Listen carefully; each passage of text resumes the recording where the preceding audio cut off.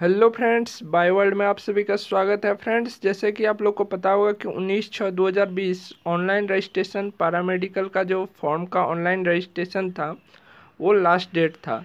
लेकिन जैसे ही लास्ट डेट आया, बोर्ड ने फिर एक नोटिस जारी कर दिया, उसमें नया टाइम टेबल दे दिया है। आप लोग को पता होगा कि पिछले पाँच बार से ऐसे ही हो रहा है। जैसे फॉर्म का क्लोजिंग डेट लास्ट आ रहा है या अंतिम होने को आ रहा है, नया नोटिस आ जाता है। नया नोटिस के अकॉर्डिंग नया सर सारा टाइम टेबल आ जाता है। तो इस बार भी आया हुआ है तो चलिए देखते हैं कि नया टाइम टेबल में क्या है।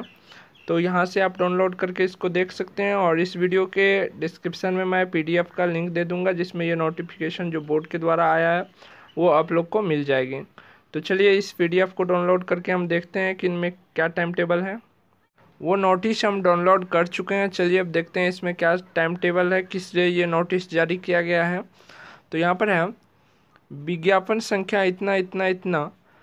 कर्म में सर्वसाधारण एवं डिप्लोमा सर्टिफिकेट प्रवेश प्रतियोगिता परीक्षा डीसीसी जिसके अंदर PE double PE P M P M D दो हज़ार बीस से संबंधित सभी अभ्यर्थियों को सूचित किया जाता है कि कोविड नाइन्टीन के कारण बिहार सहित पूर्ण भारत में 30 जून तक लॉकडाउन घोषित रहने के कारण विज्ञापन संख्या, जो इससे पहले आई हुई थी पाँच छः दो हज़ार बीस उक्त परीक्षा में सम्मिलित होने के लिए ऑनलाइन रजिस्ट्रेशन की जो अंतिम तिथि उन्नीस छः दो हज़ार बीस तक थी।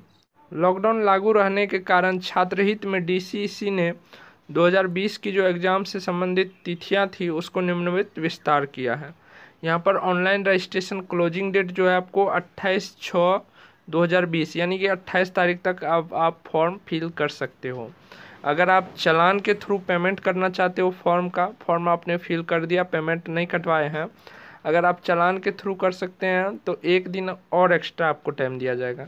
अगर आप डेबिट कार्ड यानी कि एटीएम कार्ड जो होती है, उससे या ऑनलाइन ट्रांजेक्शन करना चाहते हैं तो आपको एक दिन और एक्स्ट्रा दिया जाता है। तीस तारीख तक आप कर सकते हो, तीस जून तक।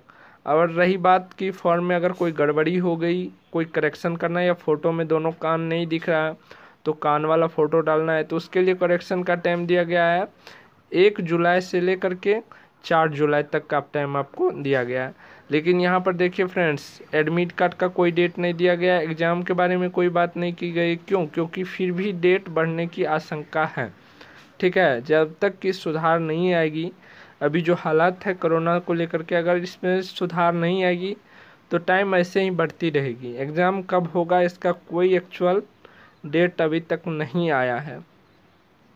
तो आप लोग जैसे कमेंट करते रहते कि टाइम बताइए टाइम बताइए। जैसे ही एग्ज़ाम का डेट आएगा, सबसे पहले आप लोग को बताऊँगा। तो आप लोग टेंशन नहीं लीजिए चैनल पे बने रहिए और डेली बाय डेली एक बार चेक करते रहिए कि नोटिफिकेशन में कुछ आया चैनल या नहीं।